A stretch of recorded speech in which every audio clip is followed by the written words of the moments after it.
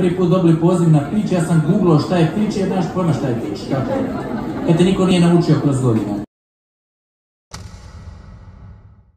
Spominješ studije slučajila, vi već godinama tupite po e-bookovima, blog postovima, jedna od rijetkih digitalnih agencija koja baš to radi kontinuirano.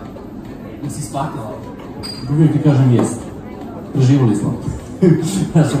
A, mi kao agencija jako, jako puno ulažemo u content marketing. Znači, blogovi, vlogovi, bogovi, to ja tako zovem ovaj trenutno.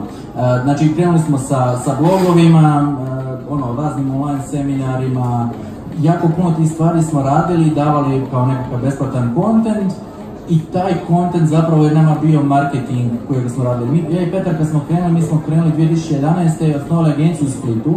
Imali smo nula znanja, mi apsolutno nismo znali ništa o marketingu, nismo znali kako funkcionira tržište. Uvijek pričam priču, kad smo prvi put dobili poziv na pitch, ja sam googlao šta je pitch jer nemaš pojma šta je pitch. Kako je? Kad te niko nije naučio kroz godine.